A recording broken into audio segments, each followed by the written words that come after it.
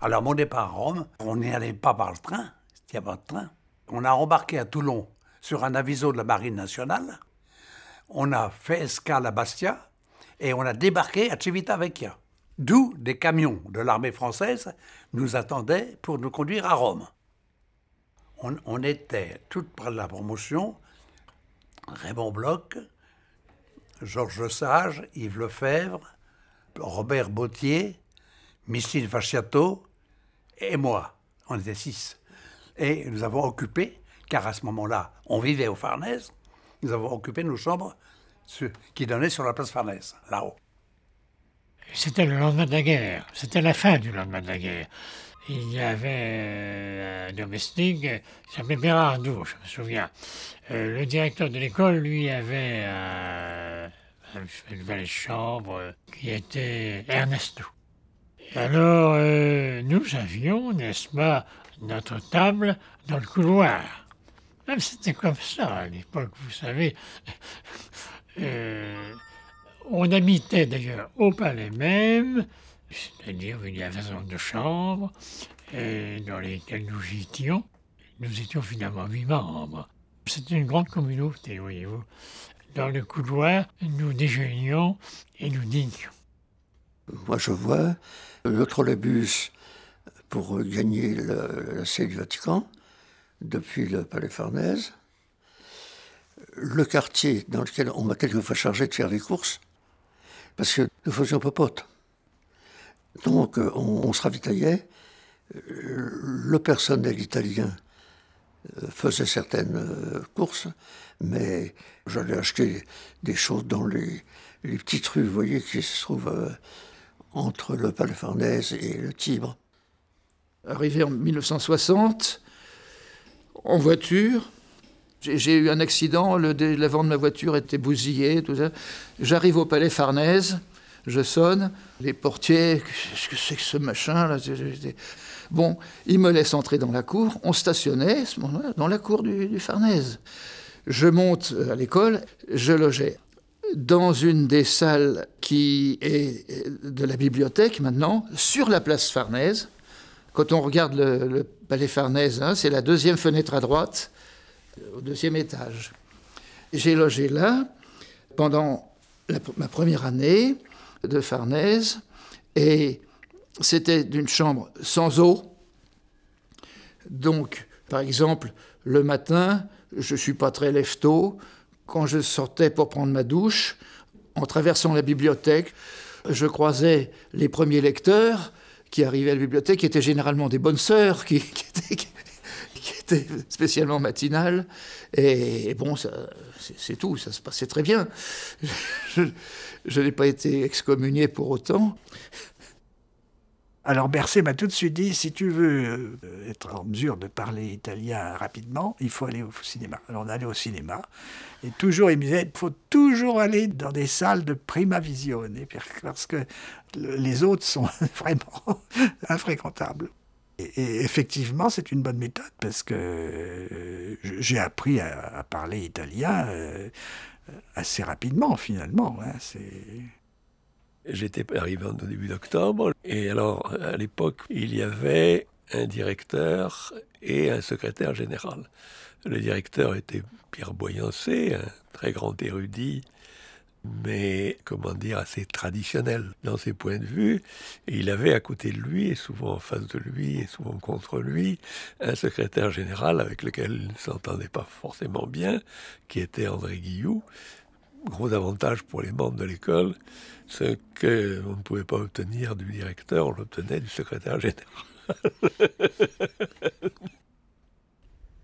J'avais choisi l'école de Rome un peu avec l'idée que ça devait être extraordinaire d'habiter un palais de Michel-Ange. Mais je me suis vraiment aperçu de la, splendeur du palais que plusieurs mois ou même plusieurs années plus tard, le jour où j'ai vu le cardinal Tisserand monter le grand escalier avec son manteau de cardinal, sa cape de cardinal qui balayait les marches, et il était précédé de deux laquais avec des flambeaux. Alors une fois, euh, monsieur Boyancé, le directeur de l'époque, a voulu me présenter à lui en disant euh, Vaucher travaille sur des questions d'histoire religieuse, ça va sûrement intéresser le cardinal. Et alors il me prend par la main et dit euh, Éminence, vous présente monsieur Vaucher qui travaille sur la, la sainteté au Moyen-Âge, etc. Alors, puis il s'est rien passé, il me regarde, et puis c'était un cocktail, il prend un truc, puis il me dit Ils sont délicieux ces petites saucisses, vous ne trouvez pas? La sainteté au Moyen-Âge n'intéressait pas du tout. Et puis il y avait surtout, et ça c'était notre, notre pilier, notre secours, c'est la bibliothécaire Noël de la Blanchardière. Alors elle, elle n'était pas tellement plus vieille que nous, elle devait avoir 6 euh, ou 7 ou 8 ans de plus que nous à peine. Et euh, elle, elle savait tout, elle connaissait tout sur Rome, elle donnait tous les conseils, elle répondait à toutes les questions. Ah, Noël, c'était d'abord l'âme de l'école, puisque M. Guillot était un peu trop majestueux, et puis le directeur était auprès des muses. Elle tenait lieu, je sais pas, d'intendant, de secrétaire général, de directeur, enfin, euh, en tout cas, avant les, avant les, directeurs d'études, si vous voulez, c'est avec elle qu'on avait le plus de rapports finalement. Et elle connaissait comment ouvrir toutes les portes. Elle savait ouvrir toutes les portes. Oui, la bibliothèque avait un rôle de relation publique dans la, Rome savante, et grâce à Noël. L'école des années 1966-69, c'était celle euh, dirigée par Pierre Boyancé, spécialiste entre autres de la philosophie, de la religion, euh, de la Rome républicaine. Mais surtout, et il faut le dire, il a eu cette euh, intuition géniale de faire acheter par les autorités de tutelle en France le palazzo, le grand immeuble de la place Navone, lorsque celui-ci a été mis en vente. Vous savez, c'était l'époque où euh, déjà, bon, les décideurs n'avaient pas euh, à Paris euh, un, un, respect ou une admiration extraordinaire pour ce qu'on appelait plus les humanités ou les recherches d'antiquité. Mais il y avait de l'argent. Donc quand on montait un bon dossier, on obtenait ce qu'on voulait. C'est la différence avec aujourd'hui, où le mépris reste le même, mais là où il n'y a plus d'argent. Et Pierre Boyancé, ce, vieux monsieur euh, discret et, tout entier absorbé dans la lecture de ces savants ouvrages euh, antiques, euh, eh bien, a su amorcer le premier un véritable virage. Nous l'appelions Pépé parce qu'il avait, une, certaine bonhomie et bien qu'il fût un grand savant. Et il avait une intelligence des choses antiques euh, euh, peu commune, pas seulement dans sa spécialité. Il l'avait également en archéologie, bien qu'il ne fût jamais allé sur un terrain.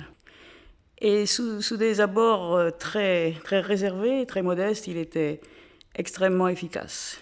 C'est à lui que nous devons la place Navone, sûrement. Avec Georges Vallet, mais enfin, c'est. Il, fallait changer, c'est évident. Hein. Ce que Vallet a fait bien fait. Mais en même temps, on a eu quand même, si vous voulez, comme dirait Talleyrand, le privilège de vivre sous l'Ancien Régime. Voilà. Alors, il y a eu la Révolution Valais. Bon.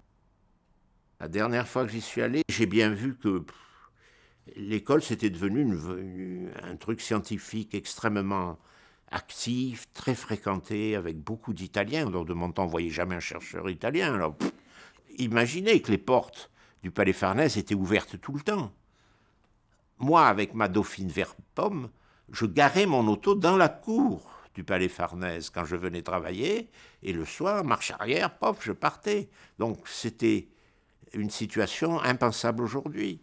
C'était charmant, mais c'était une vie d'autrefois. Euh, on, nous faisait confiance, vous comprenez. On travaillait beaucoup. Hein. on n'avait pas besoin d'être surveillé ni guidé, on se guidait tout seul.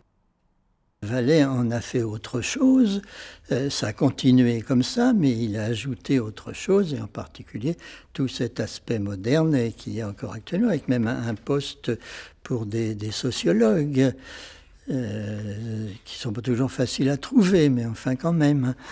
Et l'école s'est complètement euh, ouverte sur un éventail de thèmes et une culture beaucoup plus vaste. La vraie révolution de l'école, c'est les directions des études qui ont complètement changé tout. Il fallait bien que les, directeurs des études s'agitent. Ils ont commencé à faire des colloques. Le premier colloque, je crois, a été fait par Vaucher, consacré à un ancien directeur d'ici, Monseigneur Duchesne, Alors chaque fois, c'était avec des publications, des choses, bref, c'est allé euh, en, en s'amplifiant. On allait aux conférences des Belges, des Anglais, des Américains, etc. Mais il y en avait qui recevaient mieux que d'autres. Alors c'était le cas des Polonais et des Hongrois. Et avec, euh, alors on, y était très attentifs, ceux qui avaient les meilleurs buffets. Il y avait du vin toqué chez les Hongrois. Euh, on pouvait faire des étoiles en fonction de la qualité des buffets. Je dînais avec un Italien plus jeune qui m'a dit euh, Est-ce que Rome est votre deuxième patrie? Alors, je lui ai d'abord dit que j'avais trois patries en France, donc ça, ça pouvait être que la quatrième. Mais euh, oui, c'est ma deuxième patrie. Et alors, l'école, c'est une institution où je me sens vraiment chez moi, quoi ça a été un petit peu mon Erasmus par rapport à ce que connaissent les étudiants, ce qui n'existait pas à ma génération, mais j'ai eu mon Erasmus. À la fois ça étourdit, en même temps ça me faisait peur parce que j'étais fort timide. Ça me faisait peur, mais en même temps c'était quand même une opportunité extraordinaire. Les femmes de ma génération, elles étaient quand même euh, souvent, enfin, en fait, c'est par les études que j'ai réussi à, d'une certaine manière, à m'affranchir.